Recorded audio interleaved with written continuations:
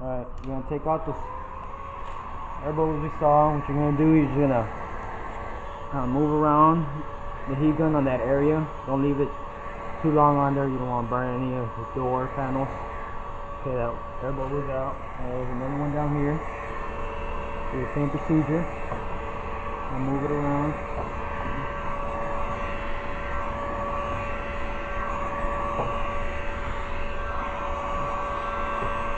Once you've done that, just kind of pass it through on the bottom. That's where it usually picks up a lot of more fingers.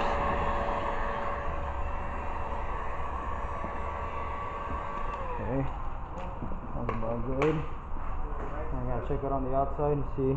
No more air bubbles on here. None on the bottom, none on the sides. And that's pretty much it on that one.